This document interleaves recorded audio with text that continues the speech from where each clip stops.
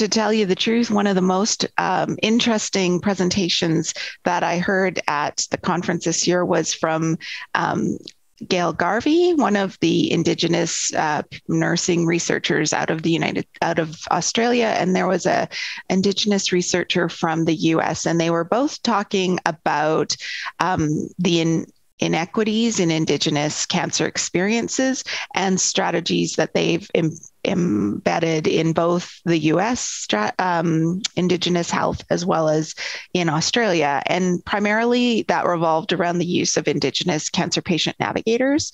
And that talk was particularly relevant to me because in my jurisdiction here in Canada, we have implemented cancer patient navigation as well to support our rural and underserved populations, including our Indigenous population. So we also have Indigenous uh, cancer patient navigators who support.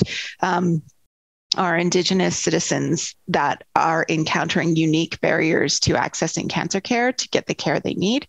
So I felt like it was so interesting to hear that presentation and really think about the similarities between my own provincial jurisdiction and other countries in the world. And, and I guess that's really the highlight for me of the whole ICCN conference is really that we all feel like we're solving our own problems in each province, in each jurisdiction, in each country, in each region.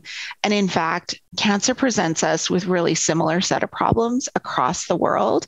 And obviously, our health systems are different, or our, our um, resource space is different, or our digital infrastructure is different. But the reality is, people who get cancer have really similar challenges, no matter where they live in the world. And so, I love this conference because it allows us to have a conversation and have nurses from Ethiopia and Nairobi and Venezuela and Brazil and the UK and Australia and the US and Canada and many, many others um, that I haven't talked about all in the room at the same time to, to really create a global awareness and a global conversation around how we can help cancer patients find the best outcomes through good nursing care.